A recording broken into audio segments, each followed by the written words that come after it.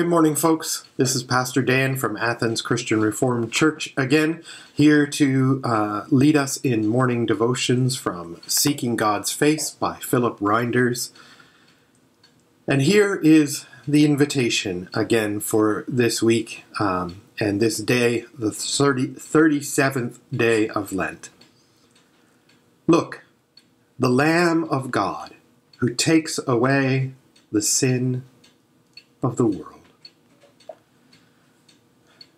Just take a moment and in your mind's eye, look at Jesus, the Lamb of God, who takes away the sin of the world.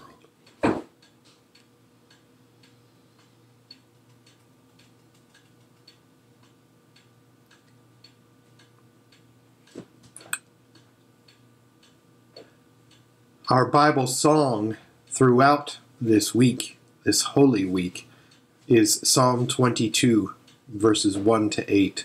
And the words of verse 1 are so familiar because these are the words that Jesus cried out on the cross My God, my God, why have you forsaken me? Why are you so far from saving me, so far from the words of my groaning? My God, I cry out day by day but you do not answer. By night, but I find no rest. Yet you are enthroned as the Holy One. You are the praise of Israel. In you our ancestors put their trust. They trusted, and you delivered them. They cried to you and were saved. In you they trusted and were not disappointed. I am a worm not a human being. I am scorned by everyone, despised by the people. All who see me mock me. They hurl insults, shaking their heads. He trusts in the Lord, they say. Let the Lord rescue him. Let him deliver him, since he delights in him.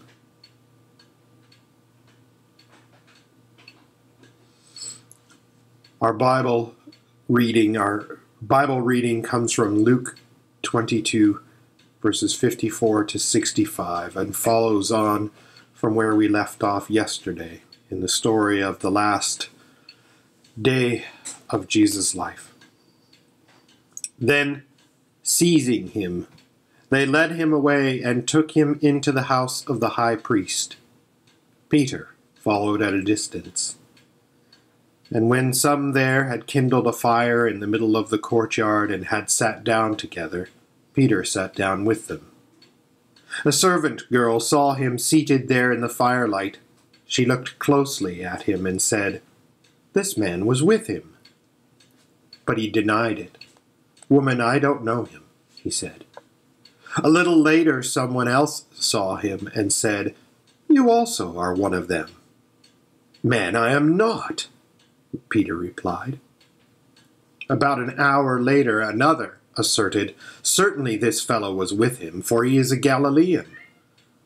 Peter replied, Man, I don't know what you are talking about. Just as he was speaking, the rooster crowed.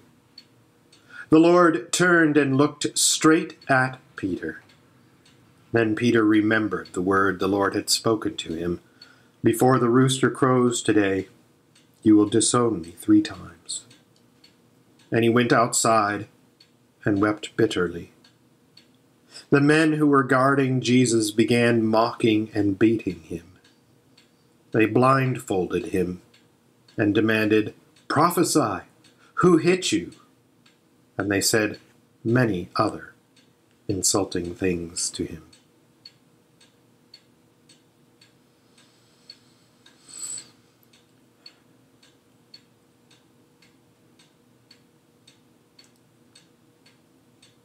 For me today, what stood out was part of the Bible song, this song that Jesus quotes.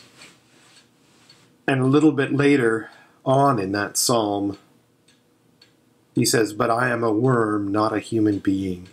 I am scorned by everyone, despised by the people. And the psalmist shares about how people walk past him, hurling insults at him and saying, He trusts in the Lord, let the Lord rescue him. And that was so much what Jesus experienced on the cross for me. And if that does indeed also reflect some of what he was feeling, and if I can see myself in Peter, I imagine myself being Peter and realizing that just when when the friend I love the most just when that friend needs me the most and is at the lowest point in his life, then I am rejecting him.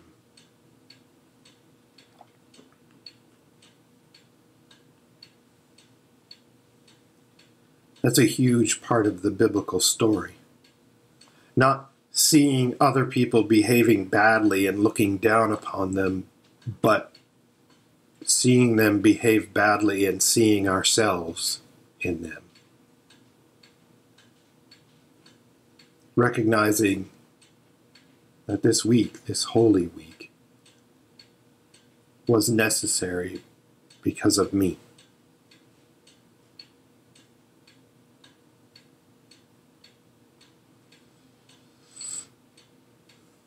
Let us pray. God, in Peter's betrayal, I see my own. In blindness of soul and hardness of heart, I turn my back on you, full of pride and fear. One glance from your bloodied face, and I see my utter failure. Jesus Christ, Son of God, have mercy on me, a sinner. Amen.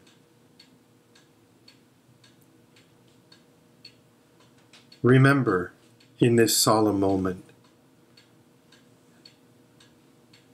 that it is true that Jesus died for us because of our utter failure, not only in our denial of Him, but in our sinfulness, in our whole lives. But also remember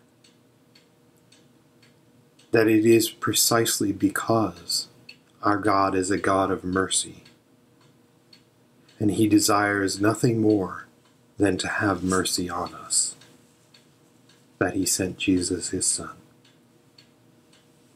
Join me in the doxology. Worthy is the Lamb who was slain to receive power and wealth and wisdom and strength and honor and glory and praise. Be blessed. We'll see you tomorrow.